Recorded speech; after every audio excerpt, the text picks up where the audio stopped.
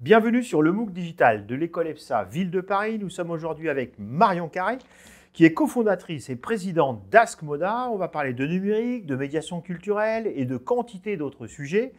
Et déjà, une première question sur un petit peu euh, d'où tu viens. Euh, je crois savoir que tu as suivi une formation au CELSA euh, à une époque où d'ailleurs tu avais aussi un blog, donc déjà plusieurs activités.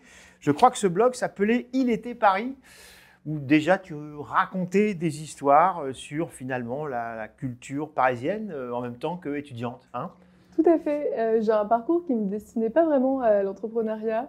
depuis très jeune, je voulais devenir journaliste. Donc j'avais effectivement organisé pas mal de choses autour de, autour de ça.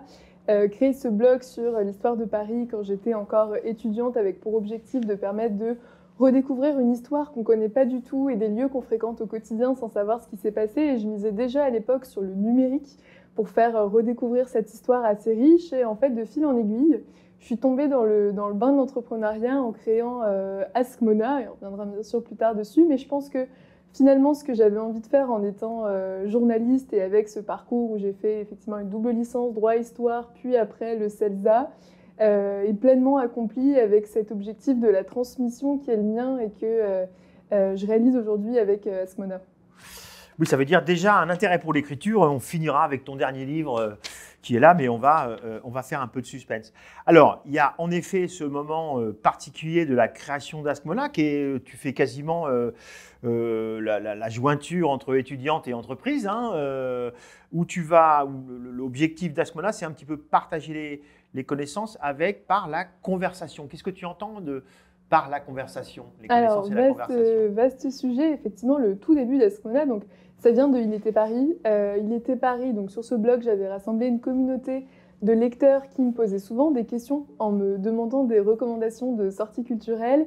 Et à l'inverse, il y avait des lieux culturels qui cherchaient à me contacter pour entrer en contact avec ce jeune public. Et donc l'idée d'Ascona, elle est venue de ce constat en se disant, mais comment est-ce qu'on pourrait les mettre euh, plus directement en relation pour euh, faciliter l'accès à la culture. Et donc, pour la petite histoire, euh, quand Ascona débute, donc on a lancé avec mon associé et cofondateur Valentin Schmitt, moi j'avais encore 21 ans, j'étais toujours étudiante, mais on a obtenu un soutien assez capital dès nos débuts qui était celui du ministère de la Culture.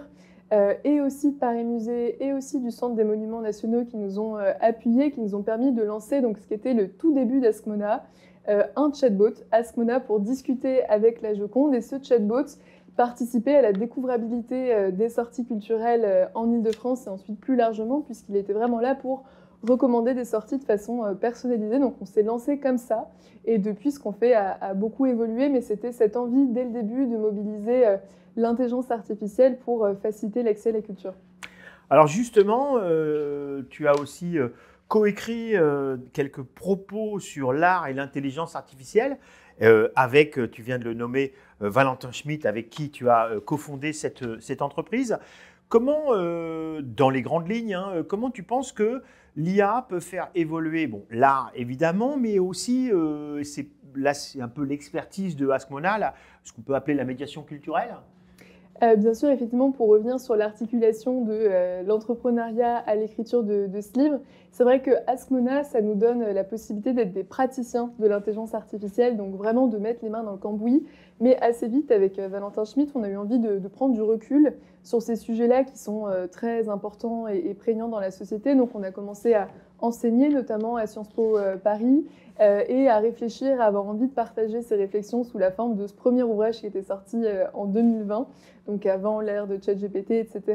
Et c'est vrai que nous, notre euh, message, qui est toujours celui qu'on creuse aujourd'hui et qui du coup s'est vraiment enrichi, c'est qu'est-ce que l'intelligence artificielle peut apporter à l'art et donc plus largement, et dans le cas d'Asmona plus spécifiquement, euh, à la découverte des œuvres, au dialogue avec les œuvres, à la médiation culturelle, et on pourra revenir dessus plus en détail, mais aussi, vice-versa, qu'est-ce que l'art peut apporter à l'intelligence artificielle. Donc c'est vraiment sous cet angle, euh, dans les allers-retours, qu'on explore le sujet il est clair que ça marche dans les deux sens, dans la mesure où les artistes souvent ont une forme d'appétence, enfin en tout cas une certaine partie des artistes aux, technologies, et ça je dirais, et même aux techniques, et depuis toujours.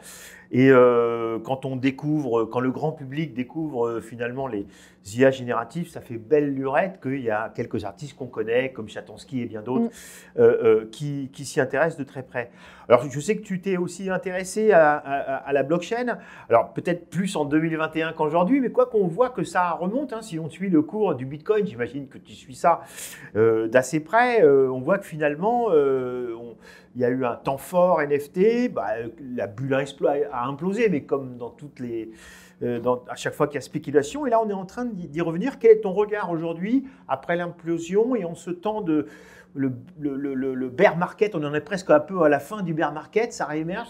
Comment tu vois ça aujourd'hui, l'écosystème NFT alors pour revenir sur la genèse de cet intérêt pour la blockchain, c'est vrai qu'il y a eu toute cette, vague-là euh, euh, qui a monté, monté, monté ces, dernières années. donc moi, ça me semblait assez intéressant de creuser et encore une fois de rendre accessible le sujet D'où ce livre de propos sur, euh, sur les NFT que j'ai publié l'an dernier, puisque l'objectif, là encore, c'était que je constatais dans l'écosystème culturel un besoin euh, de comprendre ce que c'était cette technologie, de comprendre ses impacts, que ce soit pour les créateurs, pour les institutions culturelles, pour les publics. Et donc l'envie pour moi, c'était vraiment de bah, rendre accessible, démocratiser, euh, faire circuler la connaissance là-dessus.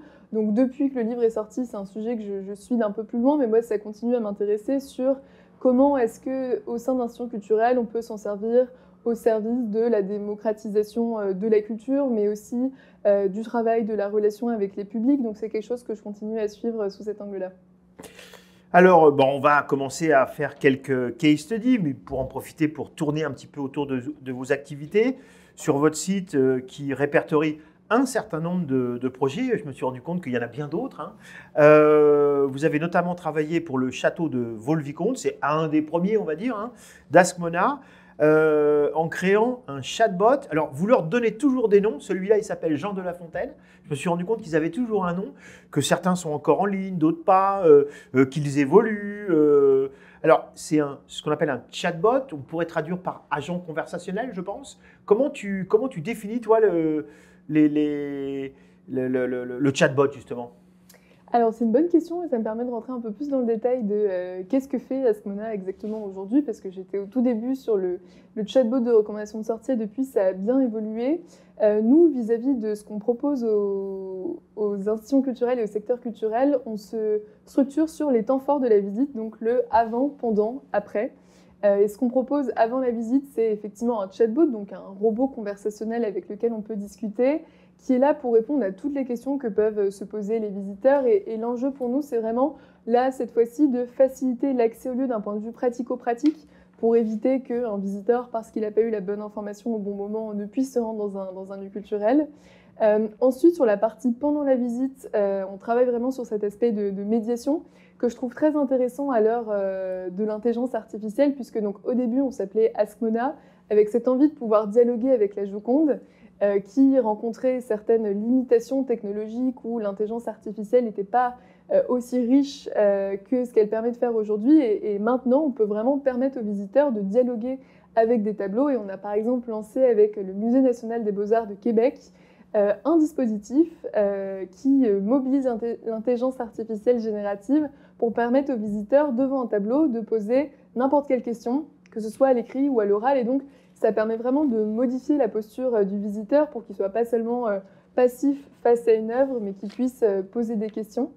D'ailleurs, c'est intéressant parce que quand on suit vos projets depuis les plus anciens, ça date d'il y a seulement quelques années, hein, jusqu'à aujourd'hui, finalement, on voit aussi l'évolution euh, de la, des propositions et aussi l'évolution des outils et des technologies et, des champs du possible.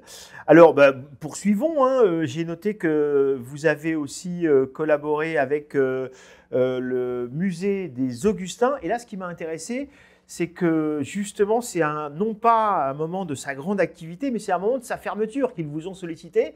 Alors, on a évidemment le Covid, c'était pas pour des questions de Covid, mais on a aussi le Covid en tête. Et il est clair que quitte à, échanger avec le public, c'est ce qui est encore plus important. On en a parlé récemment avec Laurent Lebon, avec la, fermeture prévue du centre Pompidou. C'est un moment où il ne faut pas arrêter de communiquer avec, euh, avec son public. Quoi. Tout à fait. Pour rebondir déjà sur ce que tu disais vis-à-vis des usages qui évoluent, euh, nous, c'est très important que, certes, euh, on parle d'intelligence artificielle, on parle de technologie, c'est très bien, mais c'est important que cette technologie ne soit pas décorrélée des usages, des besoins et des enjeux des publics. Et donc, c'est pour ça qu'on fait en sorte de rester euh, très alerte est vraiment en lien avec les institutions culturelles et les visiteurs avec lesquels on collabore pour être sûr qu'on leur apporte quelque chose. Et cet exemple des Augustins, il est effectivement intéressant puisqu'on pourrait se dire, mais à quoi bon lancer un dispositif numérique quand on ferme? Et au contraire, on se rend compte que c'est vraiment un levier au service de maintenir un contact et une relation avec les publics. Donc c'est vrai que nous, l'enjeu, c'est vraiment de s'appuyer sur ces usages et sur les besoins des institutions culturelles pour bâtir autour des outils technologiques, mais les besoins viennent avant la technologie.